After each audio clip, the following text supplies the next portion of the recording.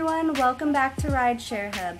My name is Allie and Dylan asked me to come on here and make a video, so here I am.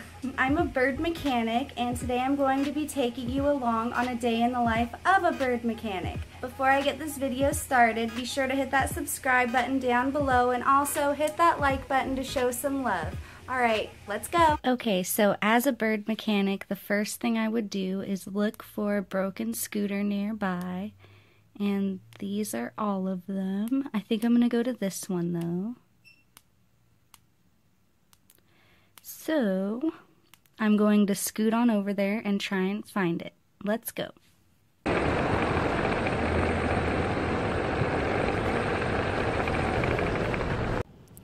So then once you're at the scooter, this is the one we're looking for, you're going to scan it in and then this screen will pop up. But what I always do is I just back out of the repair for now. And then it's in my tasks. So then now I will bring the scooter back to my house to fix it. Okay, now that I have the scooter at home, I'm going to start observing it and trying to figure out what's exactly wrong with it try and see if there's a couple things wrong with it or just one, and then continue the repair. And I'm going to go back to the screen that I left off on last. So let's check it out and see what's wrong with it. Okay, so right off the bat, I already noticed that I'm going to be taking off this sticker that somebody decided to slap on there. And the other thing is these are sticking. This is the brake lever and this is the throttle.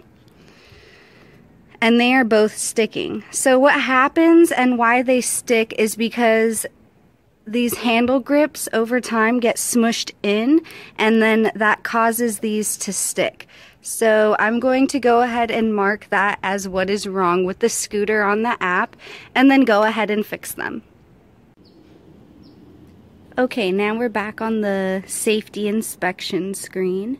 So I'm going to go ahead and mark that the brake lever is broken and the throttle is broken. And what else did we say? We will say that the neck, because it has the sticker on it, and then we will click Start Repair. So now it is going to want me to take pictures of all of the things that are wrong. So right there it says damaged photo one, take photo of brake lever. So I'm going to go ahead and take pictures of all of these really quick and then continue. So to unstick the brake and the throttle, what I'm going to do is just simply twist and pull out the handle grips until you see like a significant gap in between the handle grips and the actual brake and throttle. So now there is a significant gap like that. And they are not sticking anymore.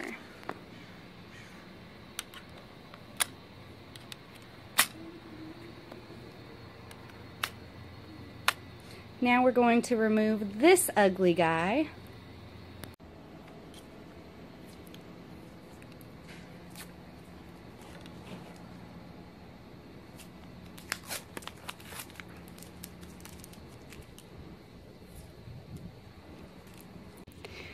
Okay, so now that I'm done with that, I'm going to go ahead and click that all of the items I marked are properly repaired and then click mark repaired. And now I need to take a series of pictures again of all of the repaired things. Alrighty. And I rode this earlier, so I know that all of those things do work. And this one actually does not have a bell, so that doesn't count for this one. Some of them have bells and some of them just never came with them. Like that one has a bell, This one never came with a bell. That one never came with a bell. This one never came. That one has a bell, but it's broken off. My boyfriend is actually a charger, so these are his. So yeah, I'm not just gonna go ahead and fix those for him if they're not marked damaged because I'm not getting paid for them. So I'm going to go ahead and click certify.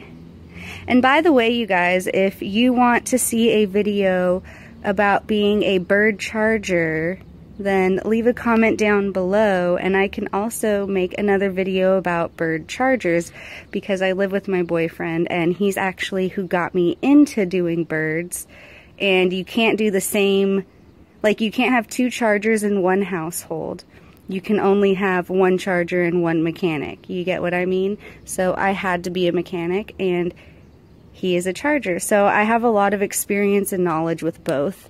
So let's go ahead and finish this. I don't know why it does that. Sometimes it glitches out. So that says pending. Sometimes it just says that right away. I don't know why. I think it's because they're reviewing the repair. Yeah, see? Now when it says charge, that just means that I've fixed it and I can charge it. And when you know that you have fixed it, when you click on it, before it would say continue repair right above here, but now, as you can see, I don't have that option because I've already repaired it. So now we are going to go ahead and find a release spot. So there was no release spots last night.